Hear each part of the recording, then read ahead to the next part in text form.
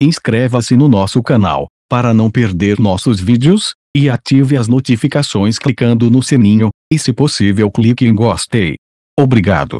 Marina Rui Barbosa compartilhou com seus seguidores no Instagram nesta quinta-feira, 29, o álbum que ganhou com fotos dos seus quatro casamentos com Xandinho Negrão, uma na Tailândia em junho de 2017, que foi secreta, o casamento civil em setembro, uma celebração na igreja e, por fim, a grande festa no dia 7 de outubro cheia de famosos. Olha que lindo! A cerimônia budista na Tailândia.